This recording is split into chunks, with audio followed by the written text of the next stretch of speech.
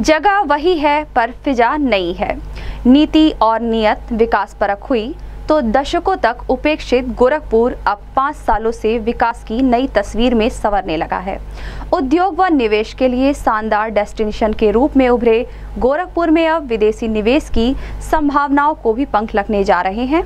उद्योग व निवेश की संभावनाओं का माहौल देखने के लिए यूनाइटेड किंगडम यूके के राजनयिक एलन जेमल सोमवार 23 मई को गोरखपुर आ रहे हैं।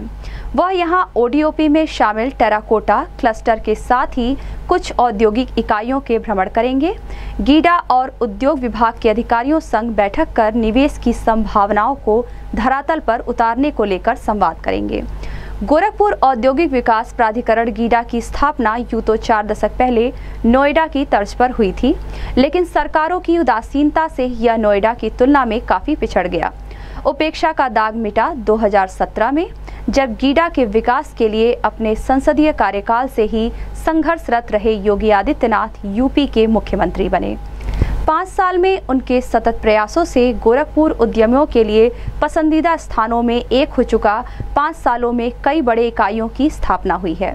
गारमेंट क्लस्टर और फ्लैटेड फैक्ट्री के प्रोजेक्ट से गीडा रेडीमेड गारमेंट का हब बनने जा रहा है। यहाँ IT park, plastic park state institute of hotel management जैसे महत्वपूर्ण प्रोजेक्ट परवान चढ़ रहे हैं। यही नहीं, देश की नामी कंपनियों ने यहाँ निवेश की इच्छा जताई है। यह सिलसिला अब विदेशी निवेश की तरफ़ बढ़ रहा है। इसी क्रम में प्रदेश शासन के अपर मुख्य सचिव M S M E Navneet Sehgal की पहल पर यूनाइटेड किंगडम यूके के राजनयिक एलन जेमल 23 मई को गोरखपुर के दौरे पर आ रहे हैं। ब्रिटिश काउंसिल इन इंडिया के डायरेक्टर रह चुके एलन वर्तमान में ब्रिटिश शासन की तरफ़ से साउथ एशिया में ट्रेड कमिश्नर और British deputy high commissioner for western India की ज़िम्मेदारी निभा रहे हैं। यूनाइटेड किंगडम और एशिया के बीच निवेश संबंधों को मज़बूत करने में उनकी महत्वपूर्ण भूमिका है। उनकी गोरखपुर यात्रा को लेकर गीडा के मुख्य कार्यपालक अधिकारी पवन अग्रवाल का कहना है कि इससे गोरखपुर में निवेश की संभावनाएँ सात समंदर पार तक विस्तारित होंगी। यह मुख्यमंत्री योगी आदित्यनाथ के प्रयास से बने औद्योगिक विकास के शानदार माहौल से संभव हो रहा है। गोरखपुर दौरे पर यूनाइटेड किंगडम के trade commissioner for South Asia, Alan terracotta cluster देखने टेराकोटा गाँव औरंगाबाद जाएँगे। इससे टेराकोटा शिल्प की धूम यूके तक मचने की उम्मीद और बलवती हुई है। टेराकोटा गोरखपुर का यूनिक माटी शिल्प है, जिसे एक जिला, एक उत्पाद योजना, ओडीओपी में शामिल कर योगी सरकार ने संरक्षित और संवर्धित किया है। सरकार के प्रोत्साहन से आज टेराकोटा उत्पादों की ज़बरदस्त मांग है और इसके प्रोडक्ट कई ई कॉमर्स कंपनियों के ऑनलाइन प्लेटफॉर्म पर भी उपलब्ध हैं।